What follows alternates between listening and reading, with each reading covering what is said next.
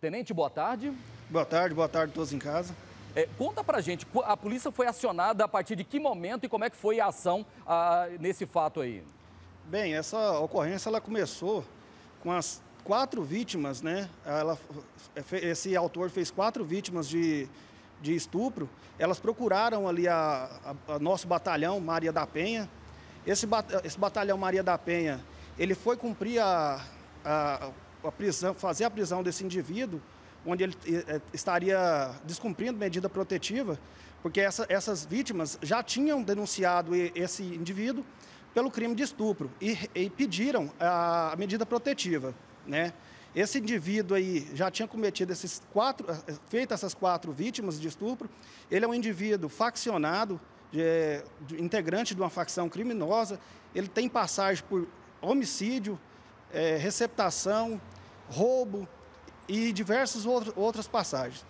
É, após essa, essa procura dessas vítimas, né, que temiam por sua vida, que temiam por sua vida ali, é, procuraram a Polícia Militar, o Batalhão Maria da Penha compartilhou essas informações com o 13º Batalhão, que em conjunto com, em conjunto com Maria da Penha, eles reforçaram o patrulhamento onde esse indivíduo tem mais incidência da prática de crime, que é a região noroeste.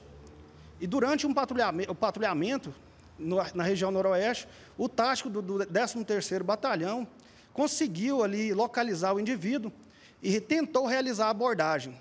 É, na tentativa de realizar a abordagem do indivíduo e a sua prisão, ele reagiu a essa injusta agressão, reagiu à abordagem, né, efetuando disparos de fogo contra a equipe, a equipe é, realizou o revide dessa injusta agressão, o indivíduo foi, foi alvejado, e nessa, nessa ação criminosa dele, um policial militar do 13º Batalhão foi, foi alvejado, está no hospital, é, está aguardando para realizar uma nova cirurgia.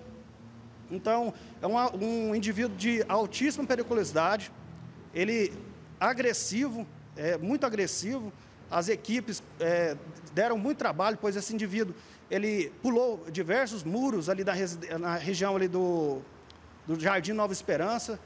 Então, é, tudo começou ali com o medo das, das mulheres, dessas vítimas, de, de, serem mortas por esse indivíduo. Esse indivíduo, nas ameaças dele, ele já havia até disparado alguns, feito alguns disparos de arma de fogo na, na residência dessas vítimas. Tenente, nesse caso aí, é, ele foi, é, digamos assim, ele foi atrás fazendo ameaças contra as vítimas que o denunciaram? Sim, elas é, foi, foi, através delas conversando ali, descobriram, né, que era, eram três primas e uma tia que foram vítimas, conversando, compartilhar, elas mesmas conversando, descobriram que ambas tinham sido vítimas dele. Então resolveram ali denunciar ele e, e, e pediram a medida protetiva contra ele, né? Aí através dessa denúncia que foi feita, aí foi que gerou essa, essa ocorrência. Agora, com esse tanto de crime, é, ele estava em liberdade ou estava foragido de algum sistema, tenente? Ele estava com, utilizando a tornozeleira eletrônica, porém havia rompido, ele estava foragido do sistema prisional. Gente, é isso que eu não entendo num país que a segurança pública não deve ser, não deve ser cobrada apenas da polícia. Segurança pública se faz com a iluminação pública da rua, se faz com a justiça fazendo o seu papel. O camarada já tinha antecedentes por homicídio e vários outros crimes e o juiz soltou com uma tornozeleira. Resultado, estava lá, e naquela mensagem que a gente viu de, de WhatsApp, ele estava falando, inclusive, para comprar três caixões. O plano dele era matar essas três mulheres, pelo menos três mulheres. Sim, ele já tinha utilizado essa, uma arma de fogo né, para é, intimidar essas vítimas, né, para não continuarem com as denúncias é, que elas haveriam, haviam feito ali na, segu, na segundo DP da mulher, fica aqui no centro.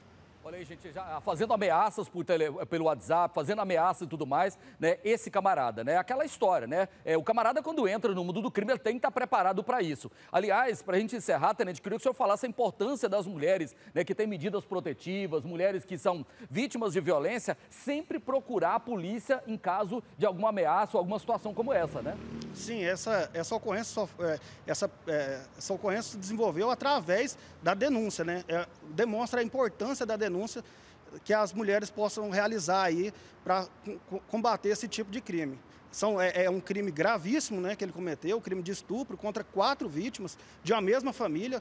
Isso, assim, possivelmente tem mais vítimas né, dele. Pode, pode aparecer, pode procurar a delegacia é, para estar tá, é, fazendo o registro dessas, dessa, desse crime. É, inclusive, talvez o banco genético, né, buscar informação, cruzamento de informação aí para saber se ele também tinha envolvimento com outros casos. Tenente Pablo Fernando Miranda, muito obrigado aqui, parabéns à Patrulha Marida Penha, pessoal do 13º Batalhão, região noroeste de Goiânia. Boa tarde, parabéns pelo trabalho, Tenente. Obrigado, 13º Batalhão à disposição. Muito obrigado aí.